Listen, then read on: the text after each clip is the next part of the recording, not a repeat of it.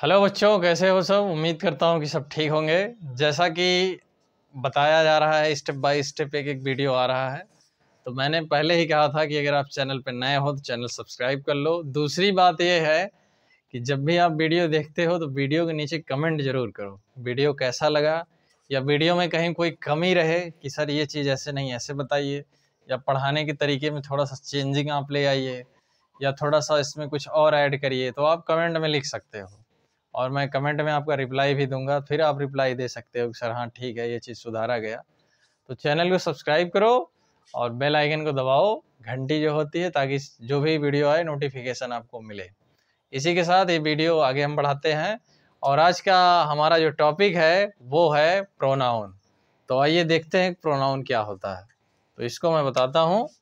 Pro P R O N O U N जैसा कि pro का मतलब होता है पहले और नाउन का मतलब संज्ञा। ठीक? प्रो का मतलब पहले और नाउन का मतलब होता है संज्ञा।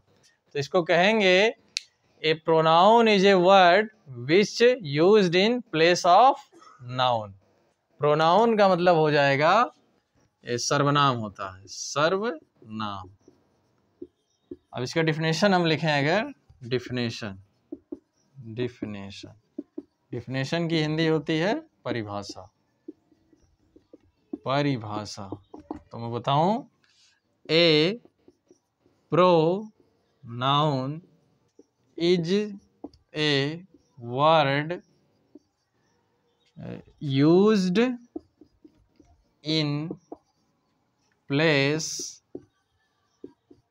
of a noun अब इसकी हिंदी क्या करें? ए प्रोनाउन एक सर्वनाम इज़ मतलब है ए मतलब एक वर्ड मतलब शब्द यूज़ मतलब उपयोग होता है इन मतलब में प्लेस मतलब स्थान पर ऑफ़ मीन्स का ए मतलब एक नाउन मतलब संज्ञा के। तो इसका हिंदी होगा a pronoun is a word एक सर्वनाम, एक शब्द है यूज़ उपयोग होता है in place of a noun एक संज्ञा के स्थान पर, ठीक? तो a pronoun is a word use in place of a noun एक सर्वनाम, एक शब्द है जिसका उपयोग होता है संज्ञा के स्थान पर। ठीक है? इसमें मैं आगे आपको बता दे रहा हूँ, जो है इसका एग्ज़ाम्पल आप एग्ज़ाम्पल देख लीजिए, इसके बाद फिर ये वीडियो हम ख़त्म करते हैं। एग्ज़ाम्पल इसका जो हो जाएगा, जैसे अभी हम लिख दें यहाँ राम, और हम बोल दें कि राम स्कूल जाता है। हम बोल दें कि राम स्कूल जाता है।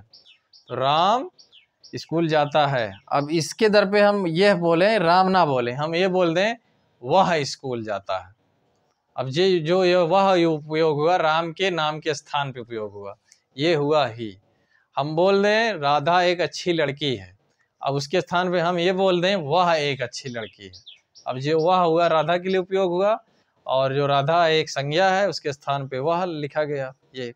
अब जैसे हम कह दें, राम, श्याम और रमेश किताब पढ़ते हैं। अब ऐसे कह के हम ये कह दें कि वे सब किताब पढ़ते हैं। अब जो वे हुआ, ये हुआ प्रोनाउन ऐसे हम कह दें कि रमेश गेंद खेलता है, या रमेश गेंद के साथ खेलता है, अब उसके साथ हम ये कह दें कि वह गेंद खेलता है, या आप गेंद खेलते हैं। अब उसका नाम लेकर ना उसके स्थान पे दूसरे वर्ड उपयोग किए गए। तो यही जो वर्ड होते हैं, यही कहलाते हैं सर्वनाम। और वीडियो अगर अच्छा लगा तो कमेंट लाइक ज़रूर करिए। अपने दोस्तों के साथ भी आप शेयर कर सकते हैं। मिलते हैं अगले वीडियो में। तब तक के लिए जय हिंद, जय भारत।